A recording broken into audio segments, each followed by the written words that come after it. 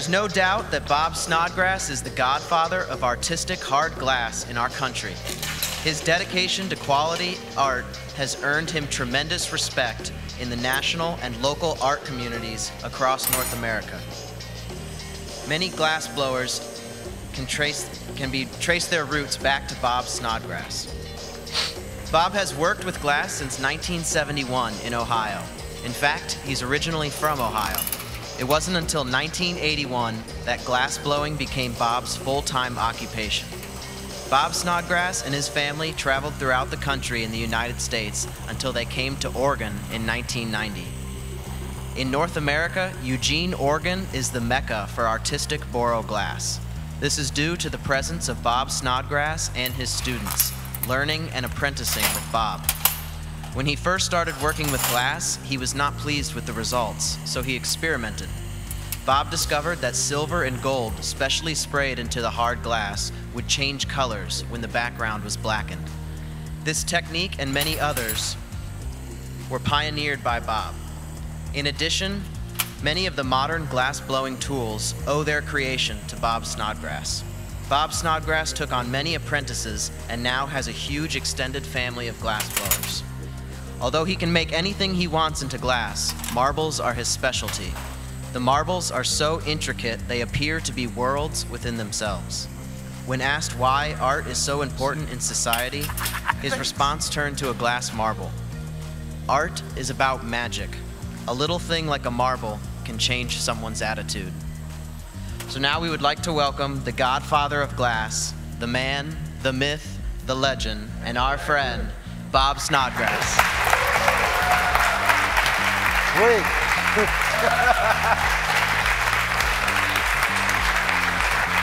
Oh, let me borrow that for a second. Oh, okay. Auto ignition. Oh, it's not quite there.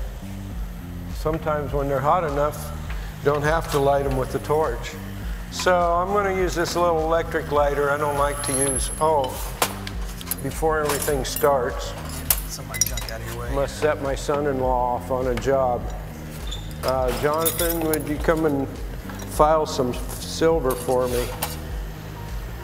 At home, all my tools, instead of getting laid on the table, have magnet, and they stick to it like that. I just didn't bring enough super magnets along to stick my tools up, but I, I've got them up here, and I've got them over there, and I can just reach and pull and grab, and wherever there's one of my tools, it's there.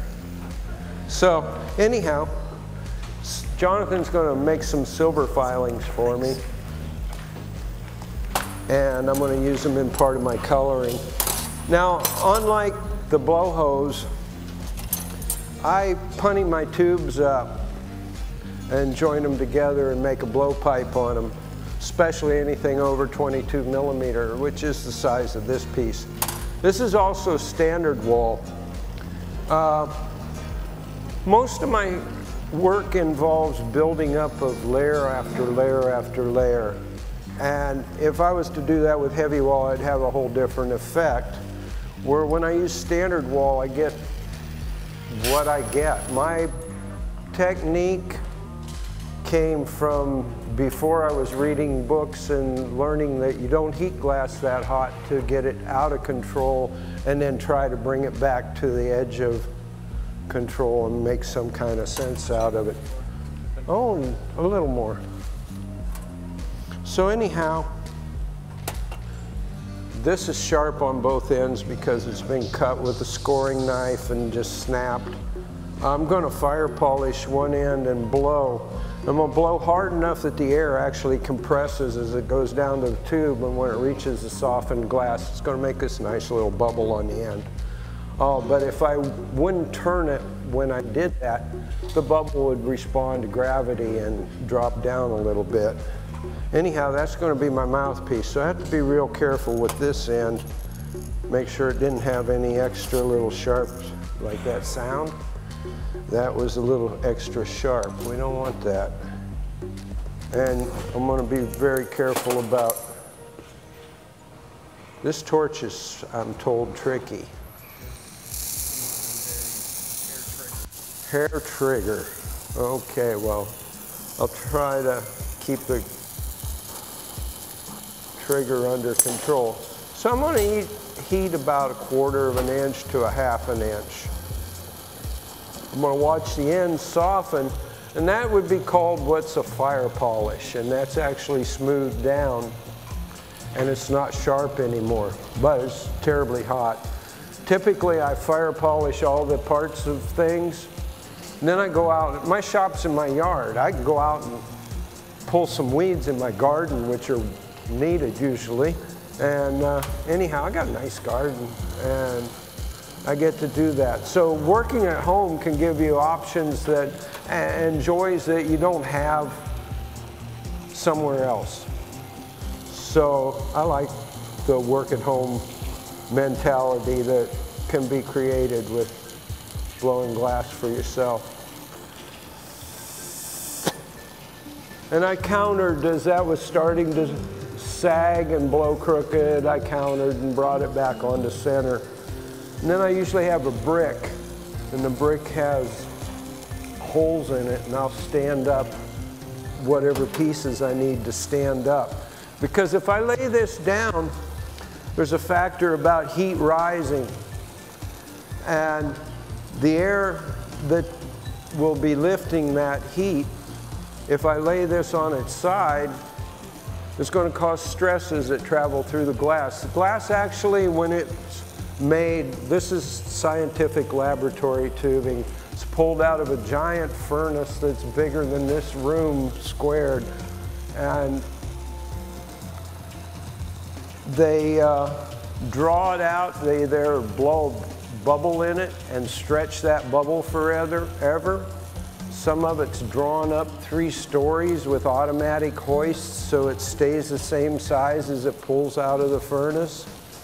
Uh, anyhow, when it cools, it forms these invisible layers. Well, if I set this down on a cold surface even, it's going to cool with those layers being lined up this way. If I let the layers go out this way, it's just going to make the stress so much less in a piece. When I stick this back in the heat, it's not going to freak out and jump apart. Because see, if we heat this too much or cool it down too much, uh, I'm to do something here I don't do at home very often anyhow. I'm to use the cool air to cool, that's just oxygen. Um, very expensive way to cool a piece of glass, but I don't want to burn my lips. My torch is also water cooled. I can rest my hands on it. This torch isn't. This torch is warm after Steve working on it for so long and me coming up here doing a little bit. So I, I, say most things involve a lot of prep work. You might make 40 pieces and have them hang out of the kiln like that. And then you go and put those 40 pieces together. Like I said uh, on one interview, it takes sometimes all night to come up with a pair of, I like to work at night. It's quiet, nobody drops by, and I can touch it now. Aha, that won't burn my lips. I'm to flare this other end.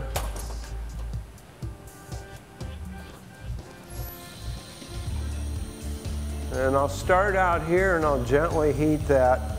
But as soon as it touches the heat, I can bring it down. Now those invisible layers anyhow, if you keep them in line, keep them stretched even, don't add a lot of stress into them, like what I just did with this tool, I've forced this glass and I've pushed it backwards and now the stress lines actually line up like that. Well, I want to relax that out of the glass and this time I'm just gently lifting and holding everything kind of in place. I made a little fine cone. Now when I do classes, the first thing we do is we start out, oh, this is too bad. This is open on both ends. Well, one end smooth, almost. So that's the end I'm gonna keep. Brick would be nice. I forgot to order one. I'm gonna cut this into two pieces. You wanna find the center of something that goes for balance.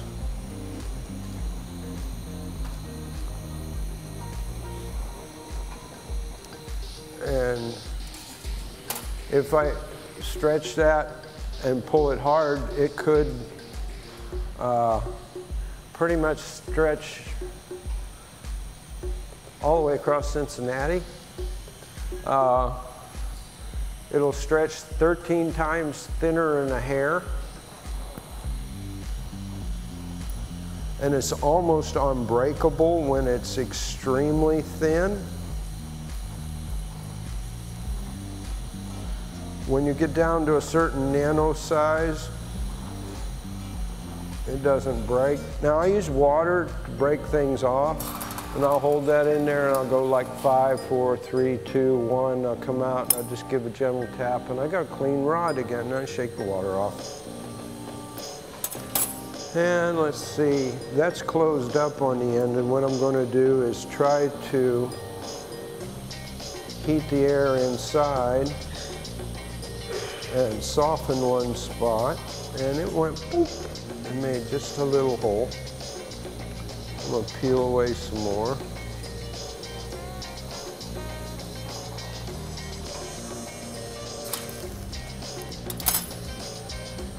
Okay. Uh-oh, where did I set it? There it is. If it would have been in a brick.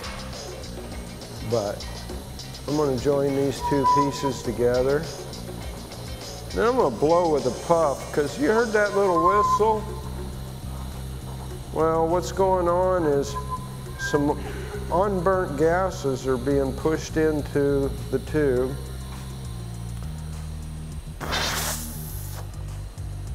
And by blowing with a puff, I've cleared them out of there. If I wouldn't have blown that way, they could have actually put some pressure back at me or ignited inside the tube and caused a lot of moisture to form there. Uh, just wait here. That's that overheating thing.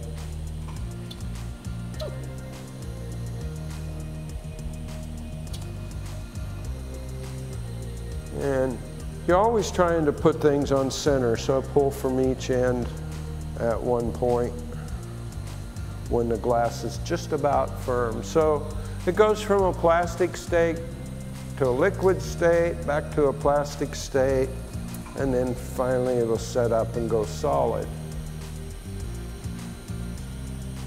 So let me figure out how strong that is. I think I want to shrink it just a little bit more. Make it just a little thicker to match this heavy wall tubing. I only have an hour, so I can't show very much, darn it. But to me, glass was like falling in love. And incredible epiphanies occur. It's like playing a musical instrument. I'm going to do that thing again. Cool this down so I don't slide my hand up there and Instead, this would have got stood on end and been in a brick. I think I got to make a t-shirt in a brick. An incredible tool in your glass shop anyhow. Bricks with holes, blocks of wood with holes. Blocks of wood, of wood with holes tend to smoke every once in a while. A lot of us do anyhow, so.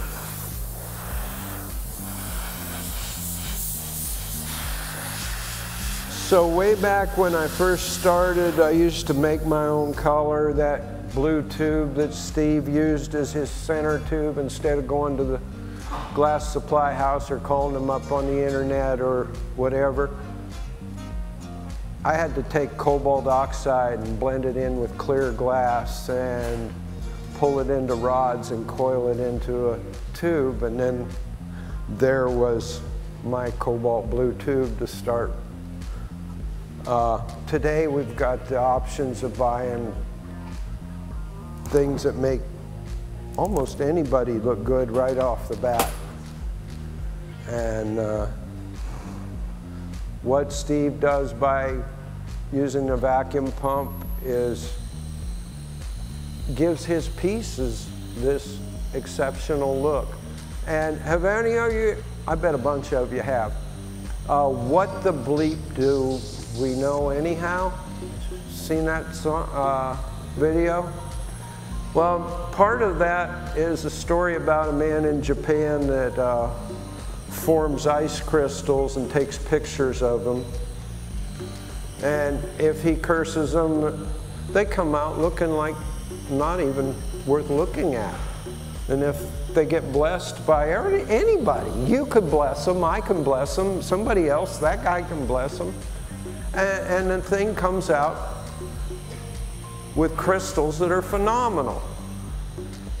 And when I'm making my own color, fuming silver or fuming gold, crystals are forming in some of that matrix. And part of, part of you goes into that piece more than buying a purple tube.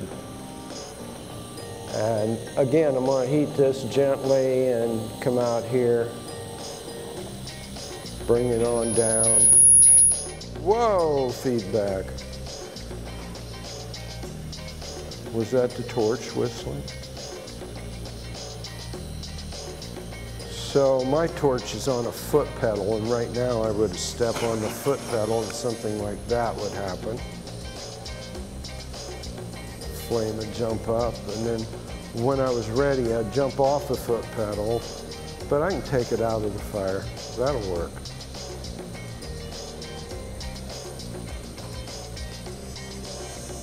I'm to prep this for a second piece and I'm to make my first piece here.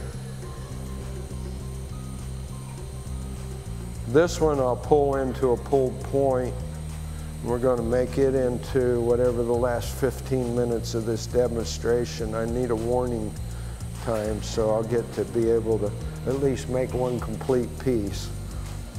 Most of the time I make parts and pieces, most of them take 20 to 40 minutes. Uh, some of them only take like seven minutes, but I might use 12 of those seven minute pieces stuck onto something. This will be a pulled point. I prefer using a blow, blow tube like I did with the first one. Pull points don't always become even. And see that little bit of shaking I'm doing? Well, that's a lot of stress on your shoulder. Do that for 40 years, and guess what? Can't lift your arm, huh? Quit doing something. Oh, quit pulling points. So making a blow tube. Oh, another thing about blow tube. It's always the same time, same size. You can make lengths vary and things like that. You can pick different sizes, whatever really fits your hand. But you get muscle memory. This one's going to be this size. The next one's going to be a quarter of a millimeter different. And where's the brick? Yes. So really, I want this to cool while it's standing. Do I have a volunteer? It's warm beyond here, so you just want, yeah, and this is glass etiquette. When you pass something, you slide your hand up and pass them the guaranteed cool spot. And when we do these complicated events, sometimes people don't respond that way and the whole thing's over with. Okay, so I got a nice pile of silver filings in here. I'm gonna use some of them to fume this piece of glass. I can cut the silver in small chunks. Actually, I got a small chunk right here. That'll even work better.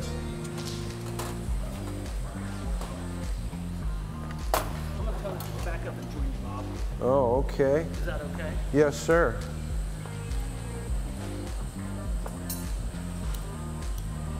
Well, cool. I'll make you a quick blank.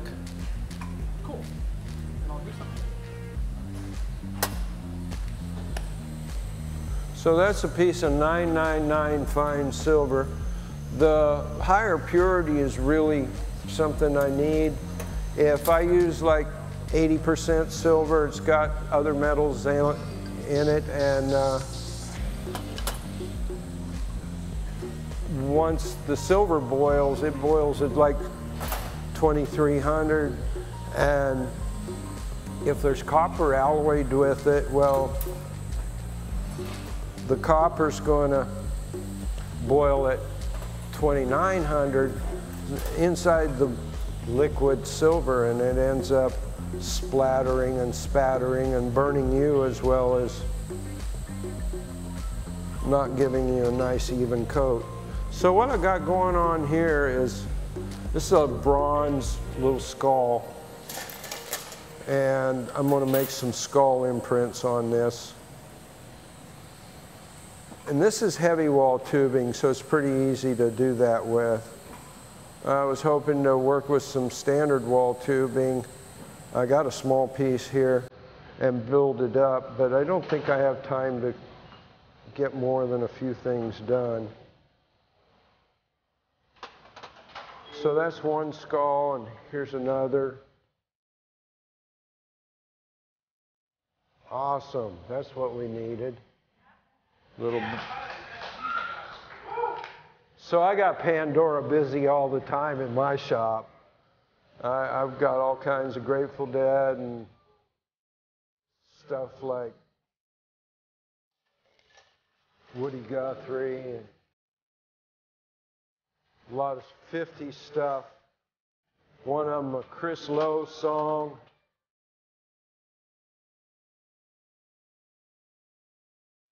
What's Behind the Green Door. That was the first record I got my mom to buy me. So what I got going on here are brass tubes. And they're stuck inside another tube, piece of stainless, actually a soft glass blowpipe that I shortened for doing crucible work. Pardon me, right into the mic. So, anyhow, I make impressions in the soft glass. Here I got some others. So these are just little brass tubes. I bought them at a hobby store. Cost a couple bucks a piece, three bucks a piece for the bigger ones.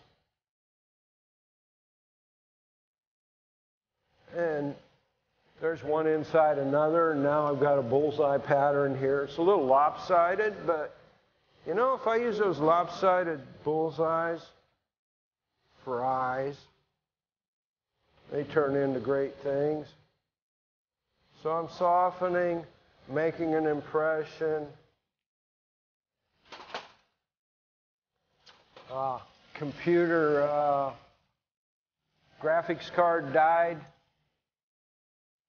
I said, that's cool. I bought new one, stuck it in there. Look at all that fins. That ought to make one heck of a set of teeth. Yeah. Softened a place. Got to run. Okay, everybody ready because I don't want this to crack. Anybody that wants to see this, come up and take a peek real quick. This is the coolest little grin. Right there's the grin oh, made by the heat sink. That's that. so this stuff, if I let this cool down and get too enamored of my appearance of looking at it and spending time, pow, it goes all over the floor. That's why you need a fireproof studio.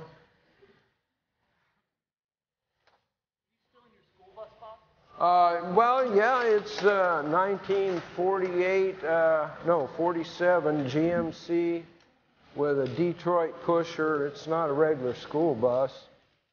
Oh, that's like a big tour bus. It's uh, only a 30 footer, which is really nice.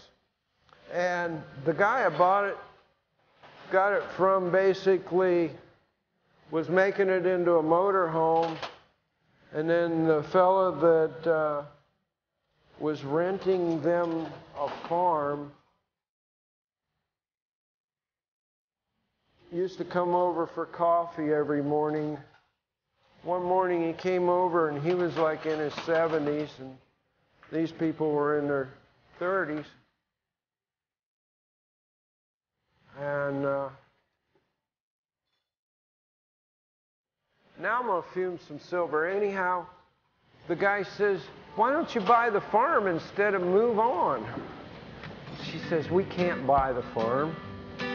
He said i didn't say could you why don't you I'll co-sign for you. So the bus sat out in the field after they'd got the whole outside paneled over to get rid of the windows. And I happened to buy this nice aluminum bus with these windows all paneled over.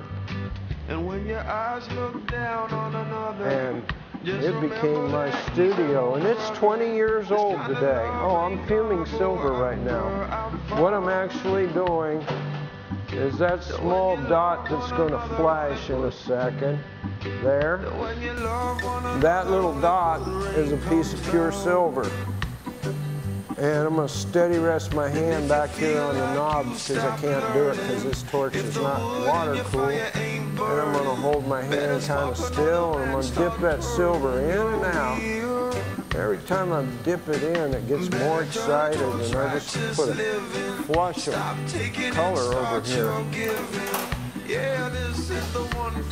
So we got some goofy two-eyed guy, some big one-eyed character with teeth. Oh, butter knife. This is a real good glass blowing tool. Every glass blower needs a couple because you can't find them sometimes unless you got magnets. There. I'm soften a spot and make Outside the flame is where you do this kind of work. Actually, most of our work is done outside the flame. Now, here's the oldest technique in glass blowing. So my theory opposed to Pliny's is I think it happened at the edge of the metal, at a edge of a metal refining pit where they were using a animal skin bellows and firing up some brass or bronze or copper that they found. It wasn't brass or bronze, it was copper. And uh, caveman was making a fire and inside of the pit came along these little glassy shiny spots when the fire was hot enough. Somebody gathered them all up and learned they could melt them one at a time and then do something like this. Just stretch them and wind them along. And that was called trailing and real simple process once you learn the balance of your heat.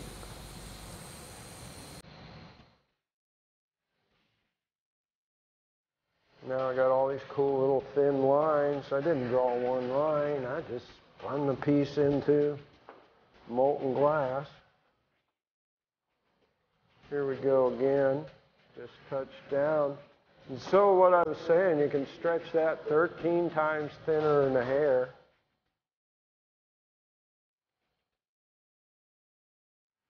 You'll see a lot of work that's got little stringers in it. I like to touch into them and give them a twist every once in a while. Sometimes get a little more leverage, pull it like that. Bob, I remember a rumor from way back in the day that you made your apprentices clean up their benches because you told them that they would get a stringer that would get into their blood and go to their heart. Well, and I don't. And then I also heard that that was just a bunch of BS to make people clean up after themselves. might be. Uh, although, you know, if it does get in our circulatory system, we'll probably be in trouble. It's going to get stuck. It's going to hurt somewhere. so you never told any of your apprentices that? I don't think I quite told them that. but I don't know. I might have been a little peeved at somebody or something and make up a story. oh. oh, that piece is cool by now. You're probably wanting to get rid of it. Okay. Hang on a second. So, when I read the book, it said you weren't supposed to get it so hot. You were supposed to always keep it on of, under control. And definitely my method is to work on the edge of out of control. I'm going to draw some more dots on here real quick before I give this to Steve. I got to make it smooth before I give it to him. Still has all those fissures from those skulls I drew all over it. Oh, embedded with a tool. I guess I'll have to draw one. This is the way I draw them. I'll take a tube, like so. Take solid rod, and outside the flame, I'll push down a dot. And I'll pull back and I'll fire cut it in the flame, and now I've got a dot in there. There's another dot outside the flame. We do most of our work outside of the flame. Now I'm going to pull stringer. That's about as thin as a hair. I'm going to get the background hot.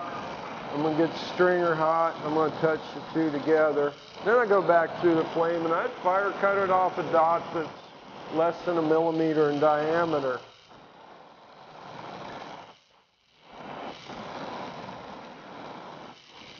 And there's three of them in a pretty pleasant row.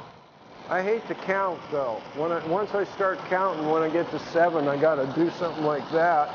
So I just keep telling myself that's nice.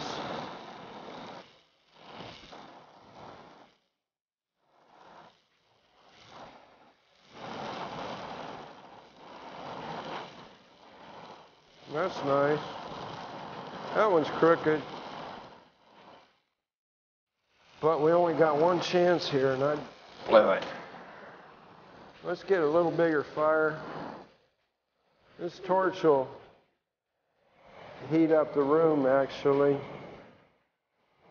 So one of the things I recommend, you don't just go work in a big building. You could put up ventilation. Spend more money on your ventilation than you do your torch.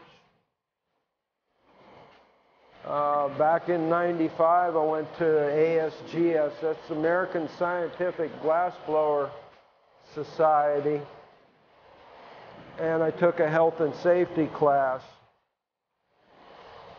Asked a lot of questions about ventilation. One of the real perks of being in that class was there was an old guy in his like 68. Oh, that's how old I'll be next year. Uh, he pulled up his uh, x-rays of his lungs, talked about how in their workshop up in the corner of the rooms, when they see that brown vapor that build up sometimes come together and touch, then they go out and have a cigarette. Uh, that brown vapor was a nitrogen imbalance that's created by this torch right now. And uh, if you were blowing glass in here all day with six or 12 glass blowers, at the end of the day, you'd have a bit of a vapor problem. Next thing being, his lungs were all white because he boiled the glass in his work, which we all do. Good thing we want to vaporize it. The amount that's getting boiled today is insignificant, no more than walking behind a car with a catalytic converter. And uh, while it's running. Uh, but do that over 40 years, you're going to end up with real problems. If you walk behind a car with a catalytic converter for 40 years, you're going to get some kind of serious lung problem. Anyhow, uh, he showed us these x-rays of his lung and they were all outlined in white because uh, silica vapor had been deposited in his lungs and not expelled being a cigarette smoker and so forth. And uh, excuse me, I got to concentrate for a half a second here. I'm, uh, I'm up there on my edge of out of control. And you got to make it, it's, you're working with gravity as your best friend or worst enemy. And sometimes it gets right down to the wire how, how tough it might be. Anyhow, this could collapse and go flat and turn into nothing. But I'm folding it back on itself and I think I'm about there. I'm going to put a punty on the other end for structure. I didn't heat that up gently. Did anybody hear that go tink and ricochet a piece off the table? I should have done that, but I'm thinking more about what's going on over here. Anyhow, he showed us his x-rays. We all oohed and awed about how bad they were. And uh, next year I went to the convention again because actually that year at the health and safety class, all we did was ask a lot of questions and nobody got an answer. And we went there again the following year just to see what was going on. This time it was in New Orleans. Fella came by, tapped me on the shoulder and said, I'm about to go present my papers. And I think you'll be real interested. After last year's class in health and safety, and we came up with no real answers on ventilation.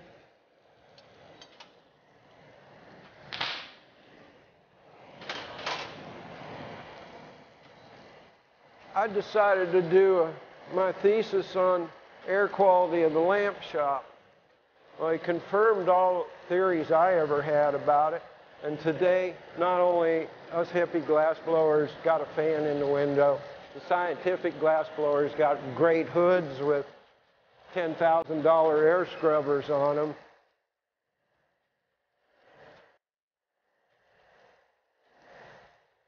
So I think that was one of the most monumental things that has happened in my career is to be part of what changed that and that we all can work for 40 years. I like working in my yard. I've been working there a long time. Plan to work there a long more time.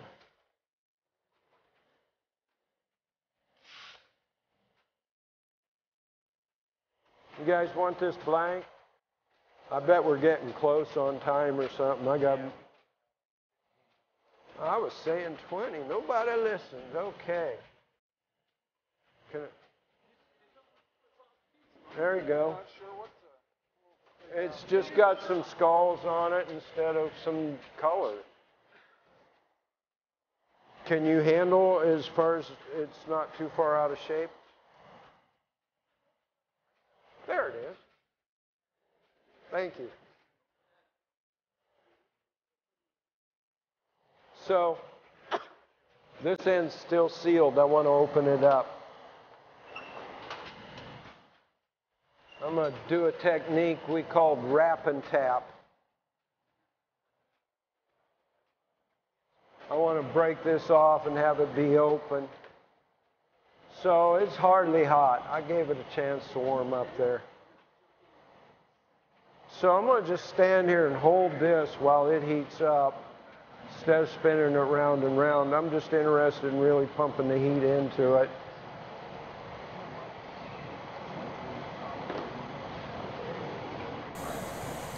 And I'm going to touch it down there and I'm going to wrap it around.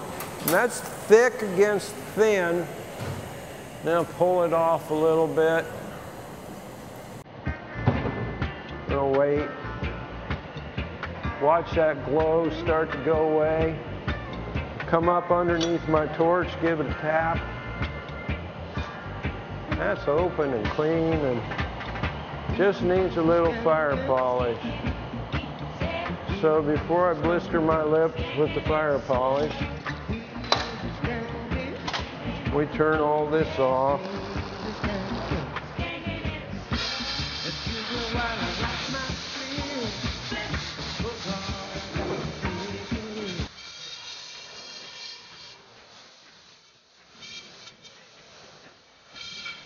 So the first thing I learned to make were doobie holders and there were several different varieties. This was the first pipe I learned to make. We joked and called it the minute pipe because it didn't require a lot of time. Now I could spend a lot of time decorating certain aspects of it and then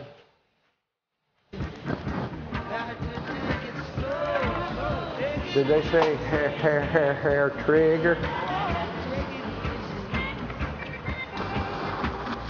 There we go. Well, anyhow, this one isn't going to get a dramatic effect. I'm going to heat it gently way out here. Whoa! Coming out of Compton, did you hear that? Automatic fire. Make the flame fall back onto the torch.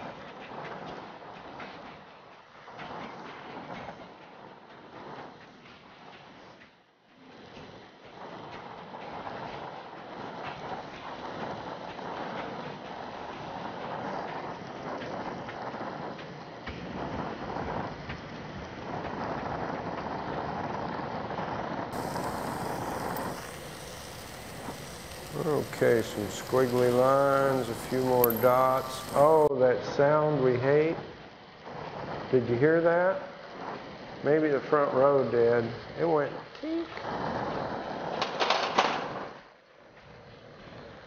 I'm going to heal that. Uh, who was it? That's going to leave a mark. Yeah. Uh,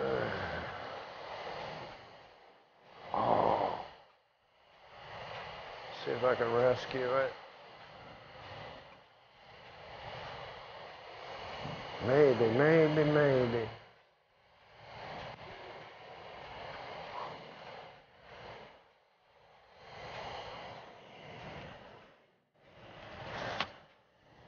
I'm blowing down the inside, the air inside, even though it escapes still stretching, pushing, and maybe healed that. Go back and double do it because a lot of times once isn't enough. If that glass doesn't move, if it just looks like it got fixed, don't drop it. Oh, fall apart right there. To get all that glass to move, though, then it forgets about all those invisible layers, gets new ones.